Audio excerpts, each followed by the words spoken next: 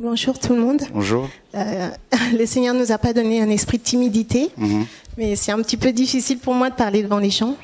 Mais euh, il y a de cela un an, j'avais fait un rêve parce que je fais partie encore aujourd'hui euh, d'une église, hein, d'une institution où j'officiais et euh, j'étais un peu un chrétien du dimanche où je vivais comme je voulais, mais j'étais vraiment sincère. Euh, J'écrivais des poèmes pour le Seigneur, je chantais, je m'occupais des enfants, mais euh, j'avais pas la connaissance de la parole. Et euh, il y a de cela un an, j'ai fait un rêve où euh, je voyais un être de lumière, je saurais pas dire si c'est Jésus ou si c'est qui. Et cette personne, en fait, euh, était habillée de blanc et il regardait les églises. Il les regardait et il pleurait. Il pleurait tellement fort. Et moi, j'étais dans, dans l'église dans, où j'officie et j'ai vu ce monsieur pleurer et je le regardais pendant qu'on priait tous, il y avait mon pasteur, etc. Et je me suis arrêtée, je le regardais et il m'a tendu la main, il m'a tiré de, de là et il m'a mis dans les hauteurs pour que je voie toutes les églises.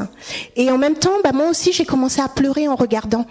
Je pleurais, je pleurais et puis il me dit, tu vois, regarde, regarde mon œuvre. Et je me suis réveillée, j'ai pas compris.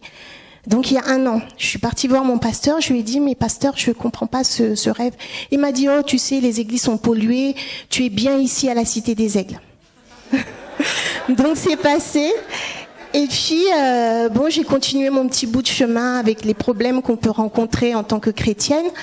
Et euh, il y a de cela euh, un mois, j'ai rencontré un frère qui, euh, avec qui bon bah j'ai commencé à parler un petit peu de la parole et il me disait des choses un peu bizarres qui me sortaient de l'ordinaire et il m'emmenait vraiment dans la parole en me disant mais lis ta Bible, lis toutes ces choses euh, que tu vois qu'on t'a racontées, lis et vérifie, apprends à chercher.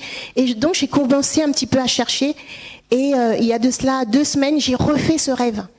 Et en fait, je comprends aujourd'hui que bah, le Seigneur m'avait montré tout ce qui se passe là, toutes ces églises. p- Il pleurait parce que bah, c'était pas bien, et il m'a tiré de là parce que c'est fini ces histoires de dîmes, de d'être membre d'église, d'être proche des pasteurs. Mon père spirituel, papa, j'ai tel problème, prie pour moi. Il faut que je prie pour toi, mais il faut que tu donnes une offrande. Enfin, vraiment que le Seigneur soit béni parce que cette parole est vraie. Voilà. Donc je t'encourage, frère Chora, à continuer. Amen. Amen.